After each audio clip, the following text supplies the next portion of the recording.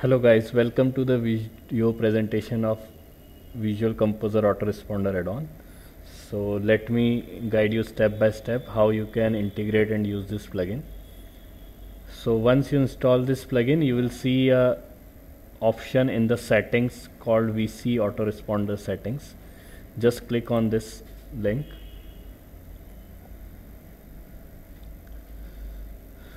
So you can see that there are three options and then another option called setting.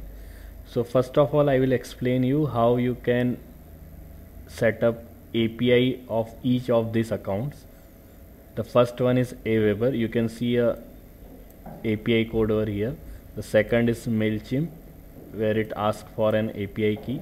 The third is GetResponse where it also asks for an API key. And then final there is a setting this setting is responsible for a custom message.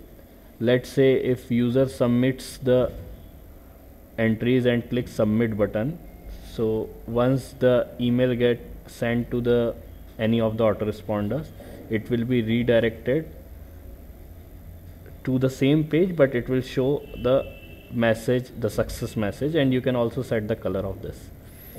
Now again going to the same settings uh, the Aweber settings. So here you can see that the authorization code is here. So I will explain you how you can get this authorization code.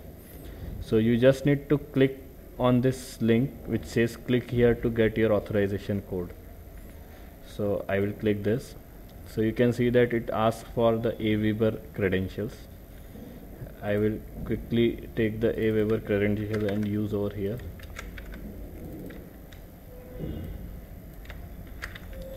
so as soon as I do this uh, it will give me a key. So this is the key. So you just need to copy this and paste it over here and click connect. Next is the MailChimp. So I will explain you how you can get this key. Just go to mailchimp.com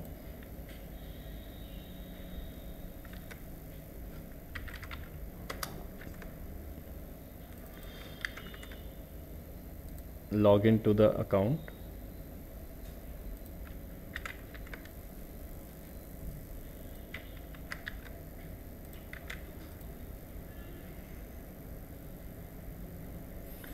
And once you're logged in you just need to go to a section called profile.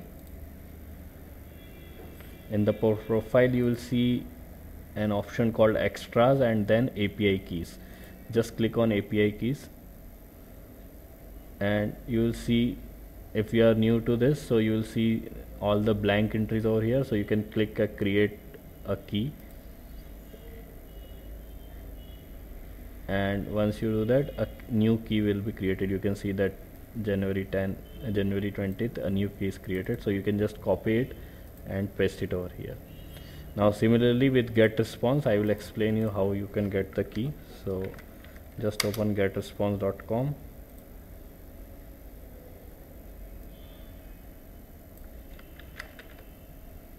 log into the system.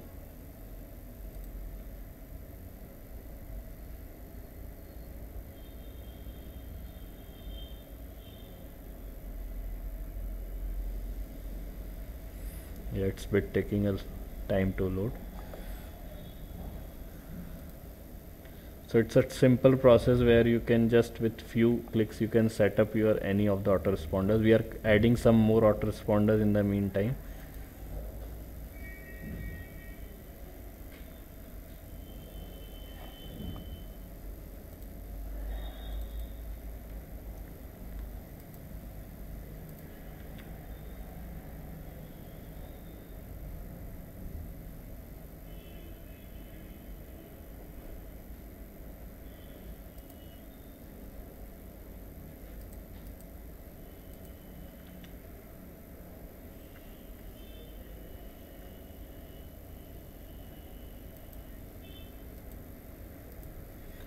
okay so it's a long delay. We'll take it over in the next video. I will see to this issue. And then uh, once this setting is done the next thing you need to do is you just need to set up the different forms which I will explain you in the next video. So